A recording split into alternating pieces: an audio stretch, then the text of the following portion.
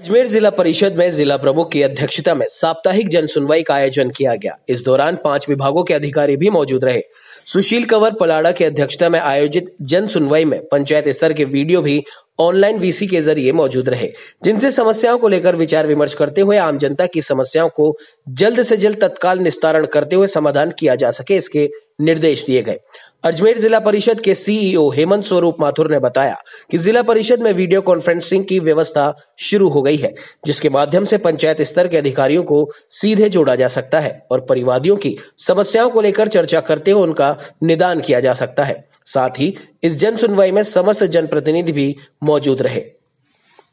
बिल्कुल, आज जिला प्रमुख महोदया के अध्यक्षता में जो हम साप्ताहिक जन सुनवाई करते हैं जन सुनवाई का आयोजन किया था, जिसमें पाँचों विभाग उपस्थित थे और अब हमने हमारे क्योंकि जिला परिषद में भी हमने अपना वीसी सेटअप लगा लिया है तो सभी ग्यारह ब्लॉक्स के बी वीडियो साहिबान उपस्थित थे और जिला प्रमुख महोदय ने निर्देश दिए हैं कि हम प्रति सप्ताह की जो जन सुनवाई है, उसमें सभी ब्लॉक के बी वीडियो साहिबान और पाँचों विभाग के जो ब्लॉक लेवल ऑफिसर्स हैं, वो भी उसमें उपस्थित होंगे। और हमने अनुरोध किया है वीडियो साहिबान से कि जो जनप्रतिनिधिगण हैं, जिला परिषद सदस्य हैं पंचायत समिति सदस्य हैं प्रधान साहब हैं, और उसके अलावा और भी जो जनप्रतिनिधि हैं, यदि वे भी पधारना चाहें जन सुनवाई में ऑनलाइन